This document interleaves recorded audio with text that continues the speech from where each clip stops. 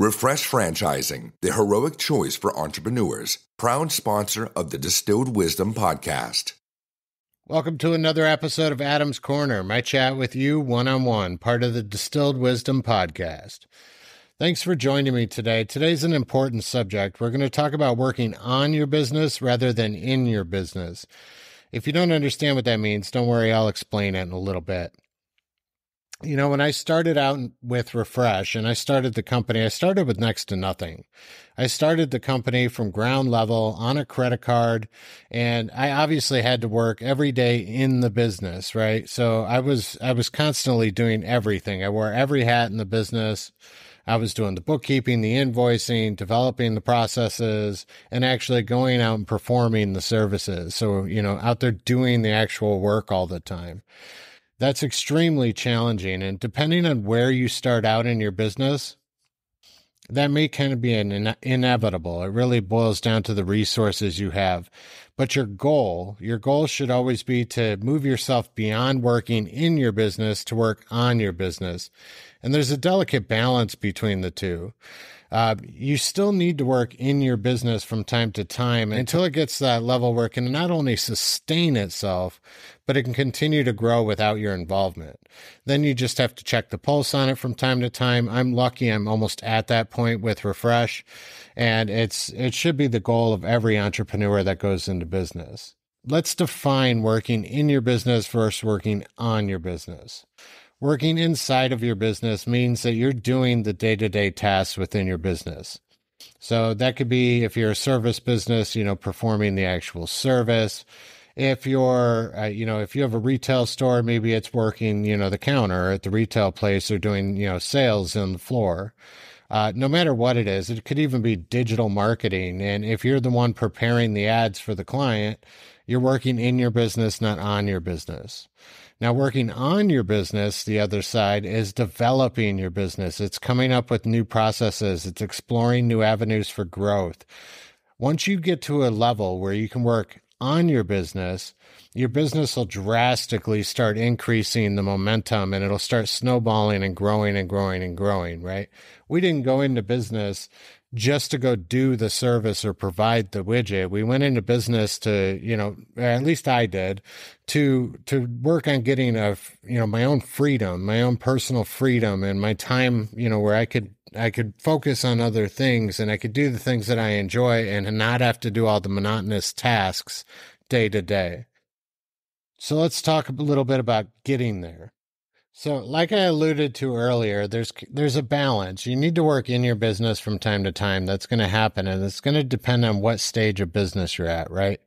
So, if if you're early on in your business, again, it's pretty much inevitable unless you have large capital reserves where you can bring in managers, you know, to to handle every aspect of the business for you. Most people, that's not the situation, right? So you're going to actually have to work in the day to day but your number one goal should be replacing yourself in these roles as time progresses and as the finances allow for it, right? And when you start doing this, you want to focus on your weaknesses. So always hire for your weaknesses when you're picking the next role to fill, right? So an example of this, when I was growing Refresh, the number one thing I had to hire for first was I had to get technicians out there to do the work, right? That takes all of your time if you're out there performing all the work all day. And that that prevented me from having to work all night into the night doing the invoice and doing the bookkeeping and all that stuff. Now I could do that stuff during the day and start focusing a little bit of time on actually developing new processes for the company.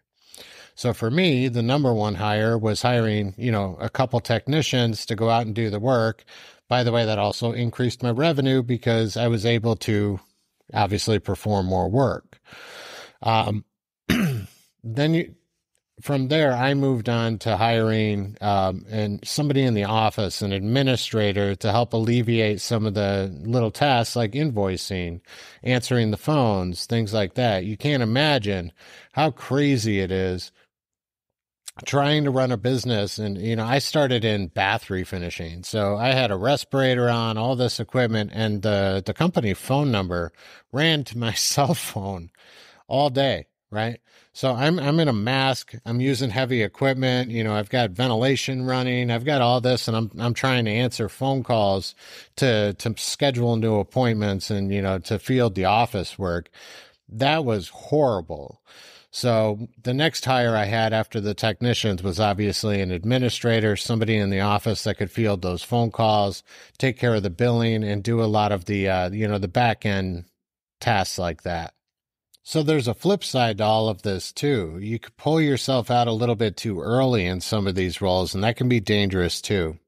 If you start pulling yourself out, you got to keep a pulse as you replace people and really focus on making sure your training programs for the people you hire are really solid and in place and you're not just throwing them out there and leaving them hanging, you know, trying to figure out things on their own. So early on in your business, make sure your training's there, but keep that pulse because if you pull out too quickly and you start working on your business instead of in your business and you don't have these procedures in place and you're not checking the pulse regularly, you know, having quotas uh, different metrics to measure KPIs, things like that. For you, you, you out there that don't know, KPIs means key performance indicators. Um, if you don't, if you don't have those metrics and you're not checking back on your staff regularly, this can have an adverse ref, uh, effect on your business. So if you start automatically, you know, checking out of the business and only focusing on growth and new things and new items, which is uh, appealing to an entrepreneur. If you have an entrepreneurial mindset, you're going to want to work on that stuff because it's more fun for you.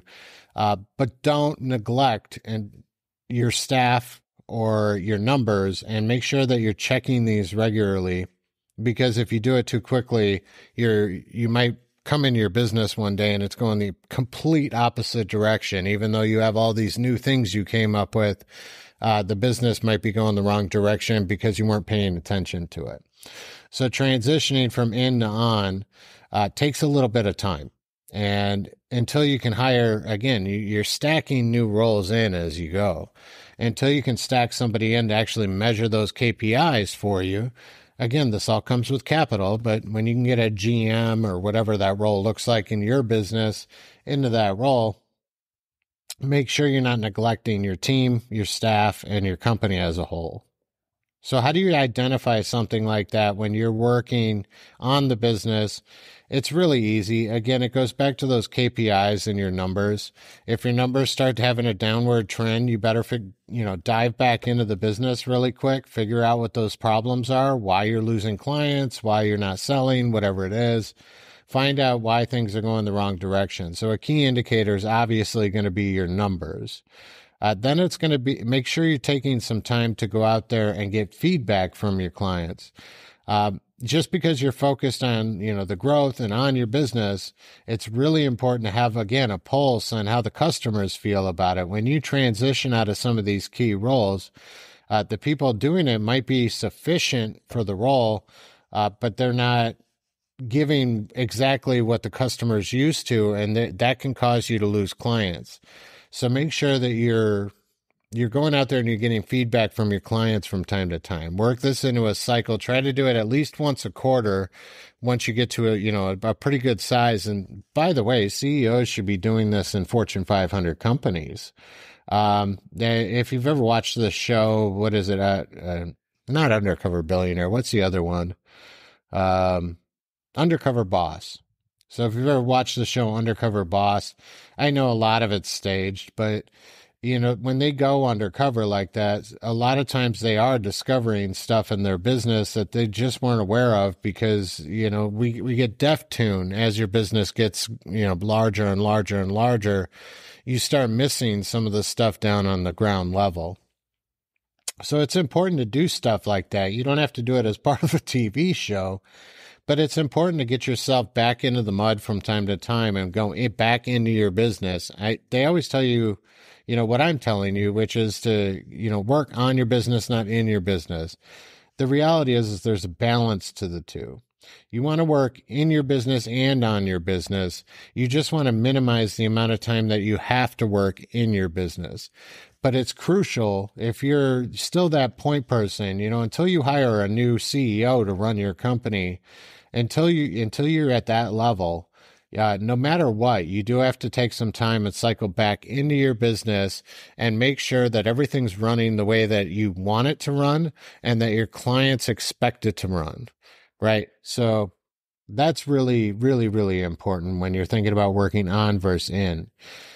Now, to the flip side of that, if you're if you're only working in your business, your business will never grow.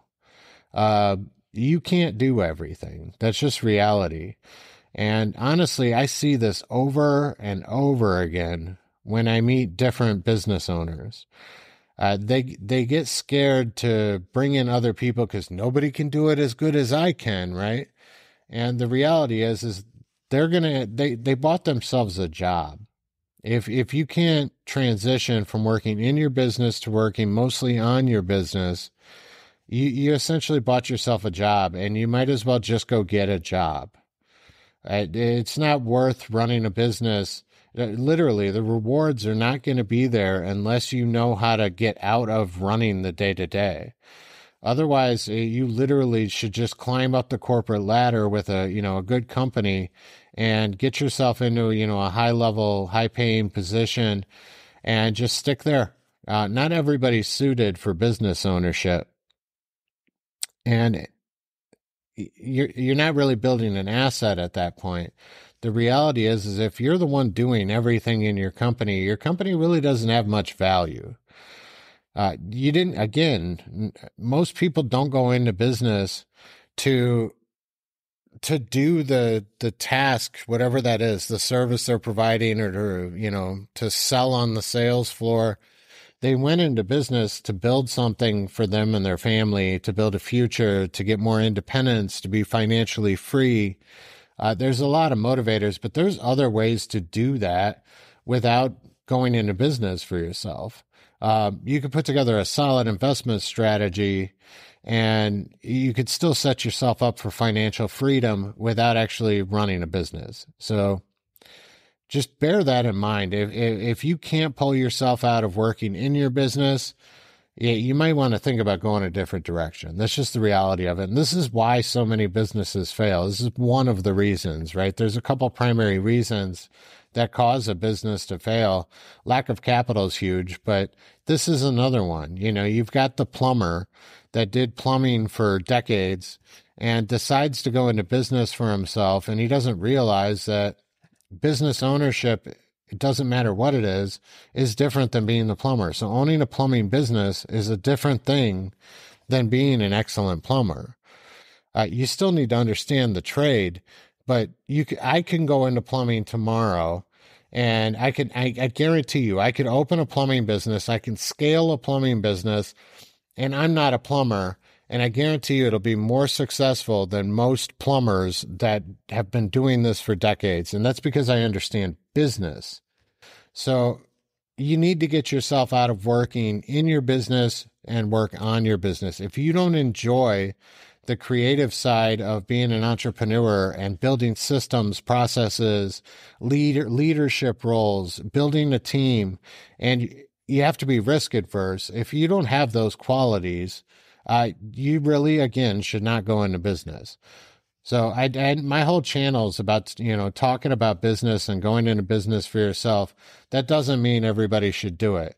Just because I give this advice doesn't mean that you're capable of doing it. You have to think about your personality and who you are. So I'm getting a little bit off topic right now, but let's jump back into working in versus on. So let's talk about some signs you're stuck, right? So you're stuck in either direction. So you're either stuck working in your business or you're stuck working on your business and you're neglecting the other one. What are some signs of this? I think I already kind of alluded to this earlier, and some of these are going to be, you know, obviously your numbers are suffering. More on a day to day is look at your schedule. Uh, take a look at what your tasks are and what you're working on regularly. And if it's all development and it's all, you know, research and development or new avenues, financing, you know, more of the, you know, the CEO type responsibilities, and you don't have anything in there to go check the pulse on your clients, to have meetings with your managers, um, you know, to really get a feel for how your business is doing, you're probably working too much on your business and not enough in your business. So at that point, you might want to delegate some time to your, or allocate, I'm sorry, allocate some time for yourself to go check the pulse of everything. Now, on the flip side to that, if you look at your schedule, your calendar, and everything you're doing on your calendar is related to the day to day operation of the business, uh, you need to really work on getting out of your business a little bit more. If if you're doing bookkeeping tasks, things like that, I mean, this stuff isn't expensive. It is when you start out to you, but it's not that expensive to get yourself somebody to do some bookkeeping or to you know uh, handle the invoicing or a number of different things, right? But if you're if your daily schedule is reserved for doing estimates, uh, booking, ordering product, things like that. You need to you need to really focus on getting yourself out of that role. Um, obviously, you have to anal- analyze your finances and do it, you know, smart, and do it one step at a time. But let's talk about moving out. So, if you are that individual that's doing everything in your business and you're focused on day to day operations, how do you start transitioning out of that? The easiest way to do that is to identify which tasks are taking up the majority of your time, right? So this is after you've already replaced for, you know, some of the key things that are obvious right out of the gate that are going to help you with growth and to get revenue in, right? So you have the income producing activities, like in my example, hiring technicians after that, you have to start looking at which tasks are you doing that are occupying a whole bunch of your time that are not moving the company forward. What are those tasks? And again, usually I, I know I keep saying bookkeeping, but that's just a really simple example of it. If you're doing bookkeeping tasks, for Christ's sakes, go hire a bookkeeper uh, there's no reason for you to be doing that. That's just a complete waste of your time. You, you can allocate all of that time that you're doing on the bookkeeping to, you know, figuring out your marketing plan or, uh, you know, ana- analyzing the costs and looking for cost savings. There, there's a million other things you could be doing. Uh, hire a good bookkeeper, build a relationship with them, and voila, that's off your plate. But look for those types of things.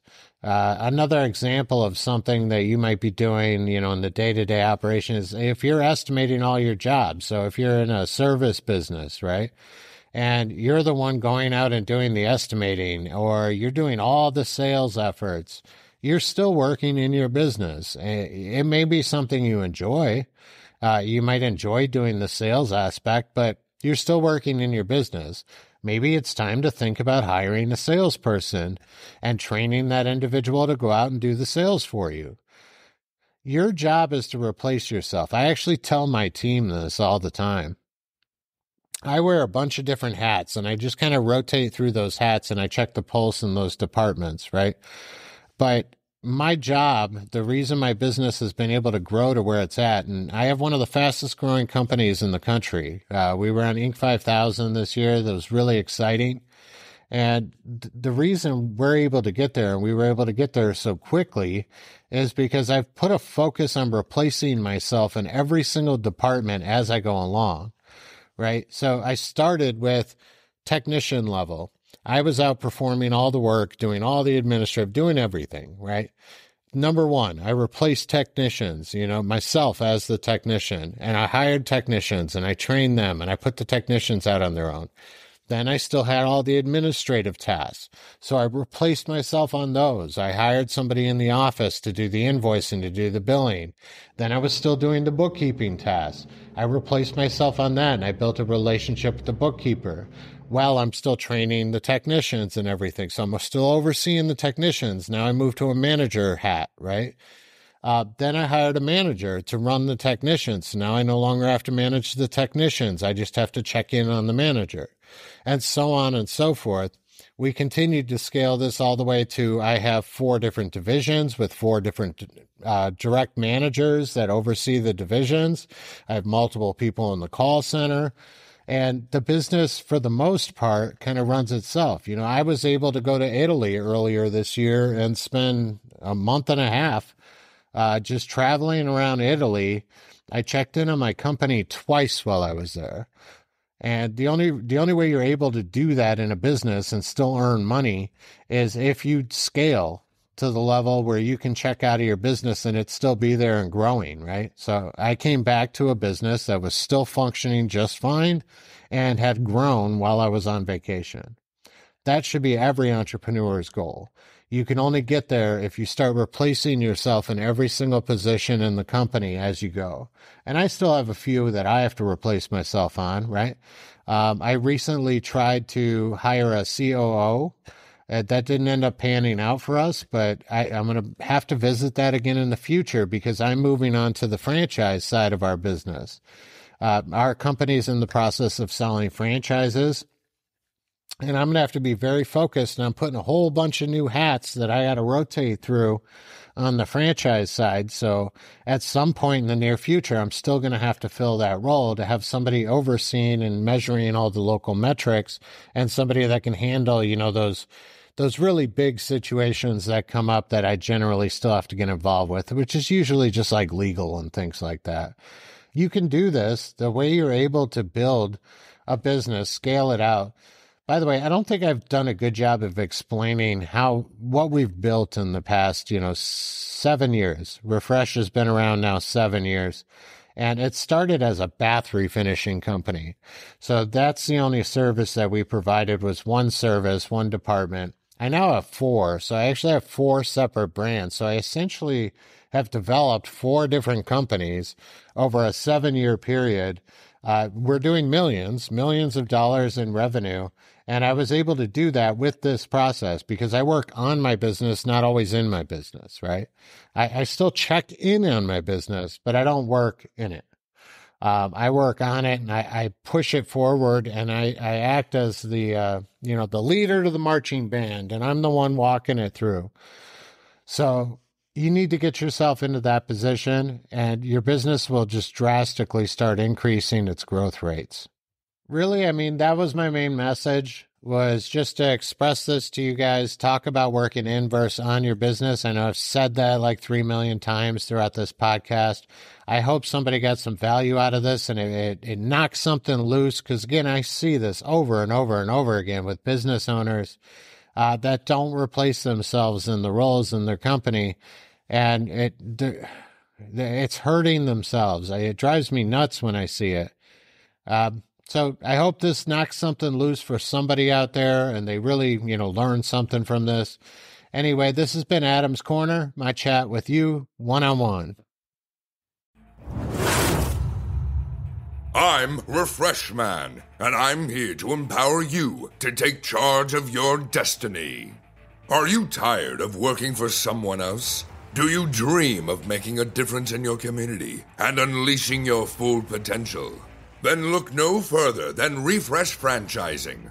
With us by your side, you can start your own heroic business venture with the unwavering support and cutting edge resources you need to conquer your goals. Our franchise model is like a super serum that will give you the strength to succeed. Refresh provides extensive training, ongoing mentorship, and an established brand with a loyal customer base.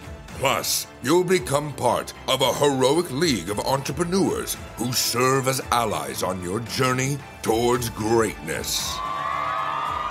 And the best part, you won't have to waste time building your business from scratch like some kind of neophyte. With Refresh Franchising, you'll hit the ground running at lightning speed and unlock the key to heroic financial success. So gather your courage, summon your inner superhero, and visit refreshfranchising.com to launch your heroic franchise journey. Always remember, together, we can achieve greatness.